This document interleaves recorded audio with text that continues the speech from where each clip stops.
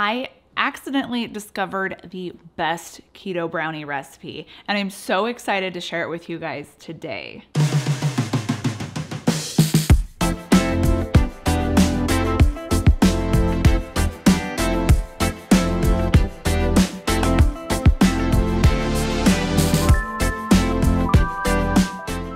Now this brownie recipe is not like any other brownie recipe that you've ever seen. This is actually a brownie recipe that is nut-free, seed-free, is it dairy free? It can be made dairy free. And there's only two grams of net carbs per brownie. And it's a big square. I'm talking about an actual big, large brownie square. And they're delicious. They're fudgy, chewy, and so rich and chocolatey, it's hard to even believe these are keto and low carb. Like I said, we're not using any nut flours, avocado, anything like that. And so some of these ingredients might be a little strange for you, but I think they're good ingredients to have on hand, especially if you do like to do a lot of keto baking and a lot of different keto recipes. One of these strange ingredients that we're going to use is inulin powder. And inulin powder is mostly fiber. It's actually a prebiotic. So there's zero net carbs in it. We're gonna be adding a half of a cup of inulin powder to a medium bowl, along with a quarter cup of protein powder. Now the protein powder I'm gonna use is a zero carb protein powder.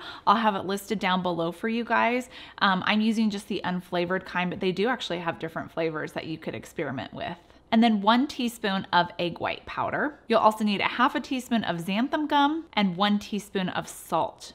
We're gonna whisk this together until everything's mixed up, and then we're gonna slowly add in half a cup of coconut milk.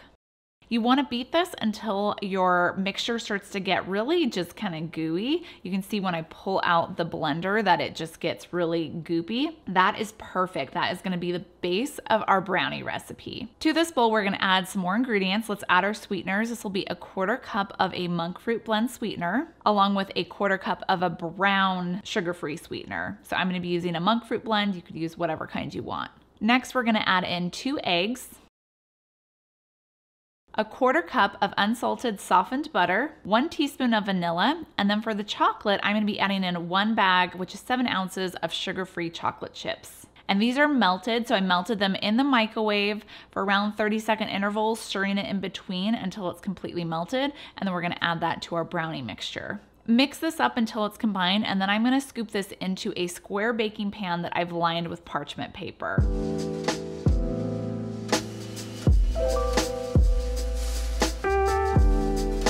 We're gonna bake this in a 325 degree oven for around 25, 30 minutes, just until the brownies are set on top. Remove them from the oven once they're done and let them cool completely, then lift out your brownies just by grabbing the parchment paper and then cut them into squares.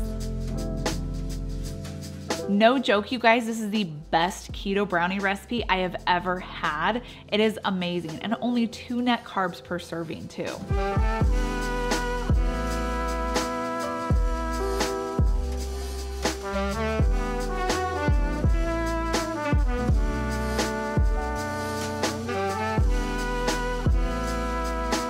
All the full recipe along with where you can get these ingredients down below, so make sure you check it out.